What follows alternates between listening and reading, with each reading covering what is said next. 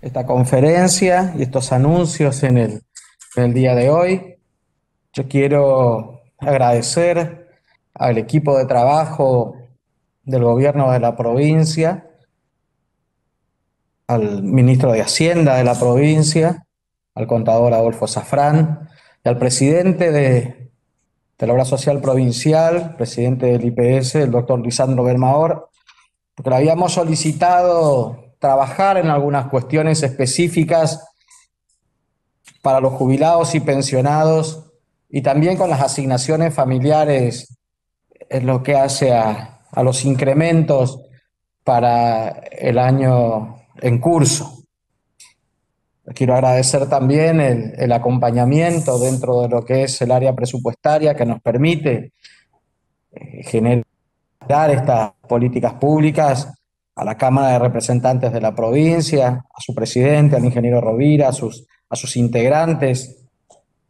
Y esto puede, puede realizarse un esfuerzo importante del, del, pueblo misionero, lo que consideramos muy justo para, para nuestros jubilados y, y pensionados, y en el compromiso de seguir trabajando para continuar esta, en esta línea. Por eso, desde el mes de febrero, este mes en curso, los jubilados y pensionados del IPS social recibirán, además del 20% de aumento de sus saberes jubilatorios, un incremento adicional de un 5% a cuenta de los próximos aumentos en conceptos declarados por pandemia. Este incremento adicional se fundamenta sobre todo en nuestra clase pasiva, que es la más expuesta, y eso los números lo demuestran en lo que hace a la afección por esta pandemia, y deben realizar gastos extraordinarios por los cuidados que deben tener en la prevención de la enfermedad.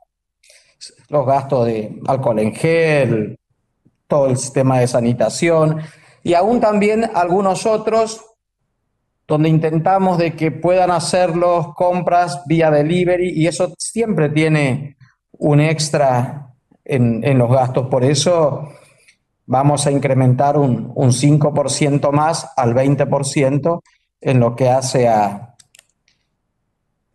a sus saberes a partir del mes de febrero. Asimismo, garantizamos a partir del mes de febrero, mes en curso, que ningún jubilado o pensionado de la provincia de Misiones percibirá un haber menor a los 20 mil pesos. O sea, ponemos como piso los 20 mil pesos este, como jubilación mínima. Elevamos de lo que es hoy más el 20 al, a 20 mil pesos en sus saberes mensuales. Estas medidas representan una erogación adicional de 43.5 millones de pesos mensuales. También incrementamos los montos de las asignaciones familiares en un 40%, en lo que hace a la asignación por hijos, por discapacidad, por nacimiento. Y anunciamos también el pago de ayuda escolar para el día sábado 20 de febrero con incrementos de un 40% con respecto al año anterior. Para determinar bien estos, estos valores y estos incrementos,